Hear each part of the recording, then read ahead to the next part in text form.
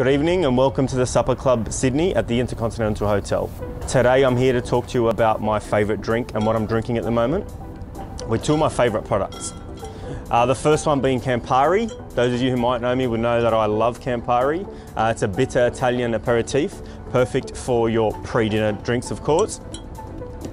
And the second product, which is what I'm quite excited about, is uh, Dolce by Cello, and that's a, a locally produced rock melon liqueur. I'm quite excited about these guys. We use them a lot here in Supper Club, especially for our cocktails and our menus.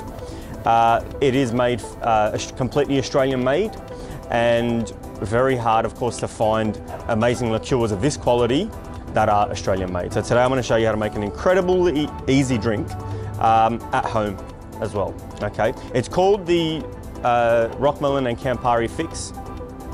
Very simple. It's got three ingredients in it: Campari, we got the cello rock melon, and then a fresh tonic water. Okay, very simple, very easy to make, uh, great for parties, and I'm just going to take you through it like always. Okay, so the first thing we're to go with is the cello rock melon liqueur, 30 mils of that.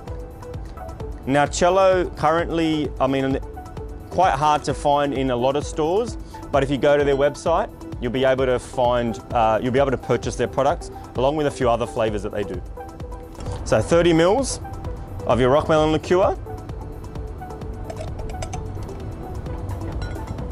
Then we're gonna go 30 mils of the Campari.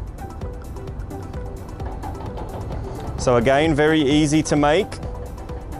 Doesn't really require any special utensils or ingredients.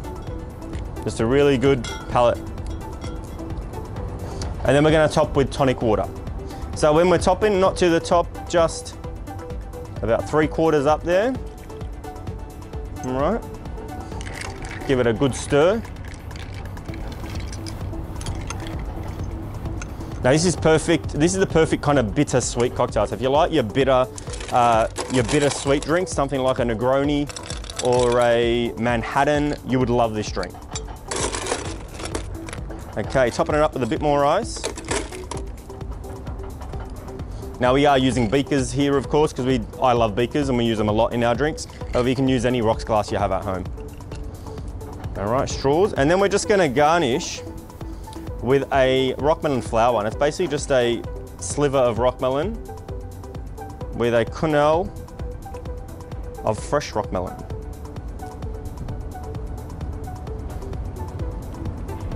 And there we have it.